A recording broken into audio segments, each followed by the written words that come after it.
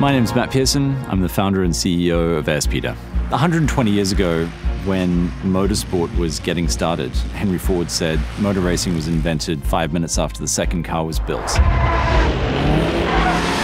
We believe now we're starting this new golden age of flying racing.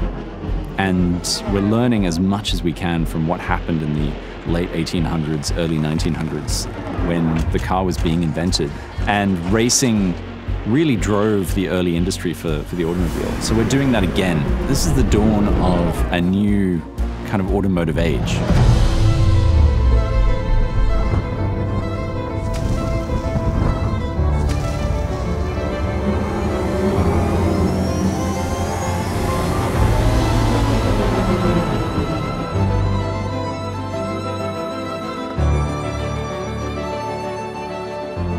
What we're doing is so unique, blending motorsport and flight and not creating a new air race, not creating just a, another motorsport. So we need unique pilots. And Bruno Senna is that unique blend of drone fanatic and, and drone pilot and Formula One driver.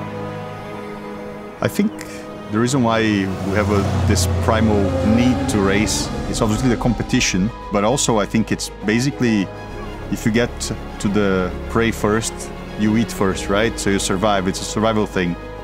I'm Bruno Senna. Uh, I'm a global ambassador for Airspeeder, and uh, I've been racing most of my life. Coming from years of motor racing, I've been exposed to extremely high-end technology. You know, F1 has the highest end technology you can think of. It's similar level to space shuttles. He loves nothing better than being down in the workshop with the vehicles, with the engineers, you know, pushing everything to its limit and stripping back the vehicle to its, its essence as a racing machine.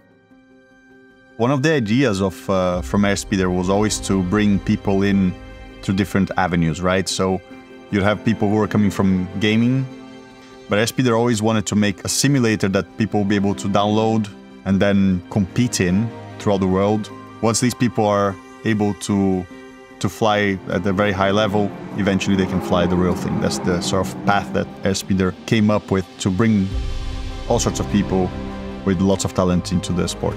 Sorry to say it, guys, but um, if we if we get this right, everyone else can go home. This is going to be the most exciting motorsport in the world, the most exciting thing to watch. That's what we're trying to do here. What we're doing is creating a microcosm of the cities of the future and the skyways of the future. Uh, our racetracks will become highways in the sky. Having Intel as our intelligence partner is really driving change into every part of the organization, whether it's course design, vehicle design, vehicle control systems, safety systems. It's really an all-pervasive partnership. So we're excited to see how this, this um, evolves and grows and how the, the things that we're going to invent uh, together over the next several years end up in the mainstream, end up being products that people use in their daily life. And this is really the moment where everything we've been doing becomes completely turbocharged.